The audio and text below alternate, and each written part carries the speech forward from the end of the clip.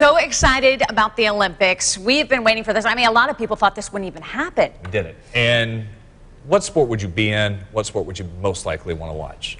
We wanted to ask. I wanted to. I want. I'm interested. They got some new ones: speed, rock climbing. yes. Oh. That's insane. And surfing. I want to know how they judge surfing. Oh, nice. That should be fun. I'm sure how ti how what high you get on the wave, and as long as you don't fall. Oh. I can't wait for gymnastics.